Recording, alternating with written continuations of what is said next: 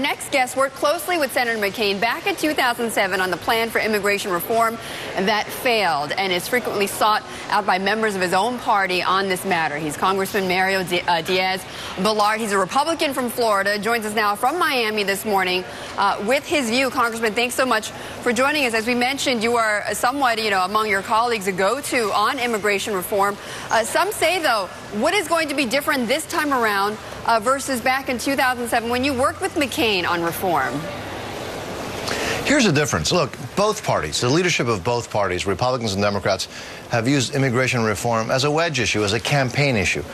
Now, we've seen that it's worked really well for the Democrats, and it's been dismal for the Republicans. Mm -hmm. I think now there is the realization that we have to finally get it done. I think everybody in the country understands that the system is absolutely broken.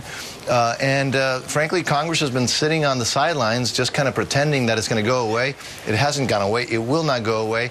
What's changed now is I think the leadership of both parties understand that the American people are demanding that we actually get things done. And this is one of the things that everybody understands is broken. Well, it sounded like from what McCain was talking about, you know, that the Republicans have to show a bit more, uh, I guess, I guess, reasonableness when it comes to immigration, uh, in the sense that, you know, a lot of the focus, as you know, Congressman, has been on border border control among Republicans.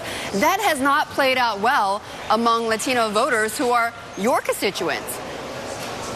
Well, because this, look, everybody understands, and I think everybody agrees, uh, that the United States has the right, and I will say the obligation, to determine who comes in and who leaves. The United States can't be the only country that can't control its borders, but that's only part of the problem. You know, we have 10 or 11 million people here, and ignoring that reality doesn't go away. Senator McCain has called that de facto amnesty, and he's absolutely right.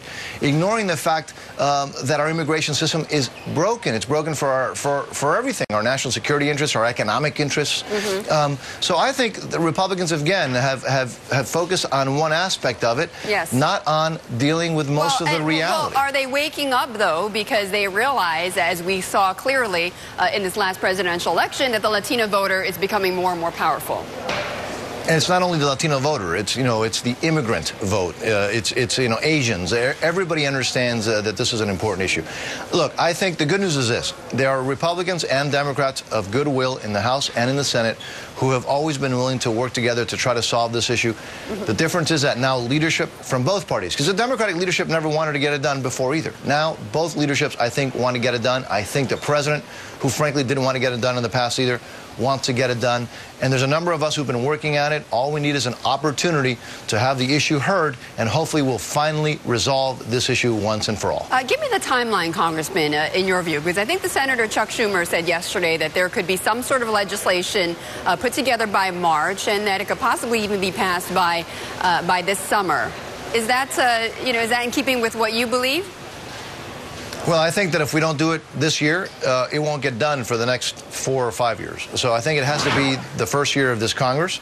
Uh, and I wouldn't be surprised if the House has a bill before the Senate. Uh, Congressman, there was something interesting I, I read today in, a, in, one of our Bloomberg stories, which is that uh, two thirds of Latinos here in the United States know somebody who is an undocumented worker. And so this is why this is obviously an issue. As you say, this is not just about Latinos, but I'm just focused on them for a moment. Uh, that they know somebody who's undocumented, and that's why this issue is so important for them. Uh, would someone that you know, for instance, uh, if we saw real immigration reform come out from their status, their illegal status, and apply for legal status knowing that they would not be deported, would that be a reality?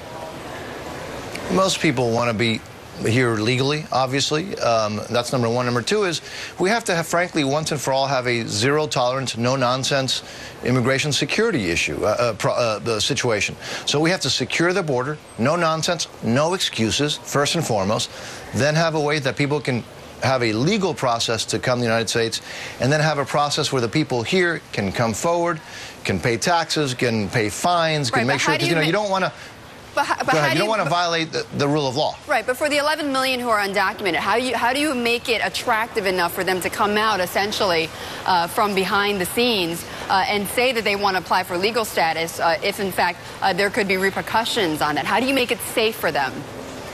Because people need to understand that the repercussions for not going forward, coming forward are very severe.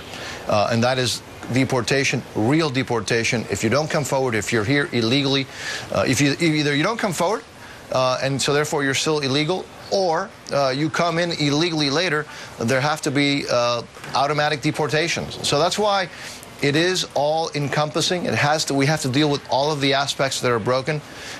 Uh, it's got to deal with security. It's got to deal with a system that works for people to come in and out. Mm-hmm. It's got to have a, an aspect for ag workers. It has. Uh, we have to stop deporting uh, the people that we educate in our finest universities and then send them out uh, to compete against us. Uh, all of those issues have to be dealt with. We have to deal with the kids who were brought here illegally from, by their parents, but that right. they didn't make that decision. Uh, we have to deal with that once and for all. Look, the solutions are there. We know what the problem is. We know what's, what, what some of the solutions are. The question is, do we have the political will finally to get it done? And I'm optimistic that hopefully we will. Okay, by this year. Congressman, thank you so much. Appreciate it. Congressman Mario Diaz-Balart from Florida.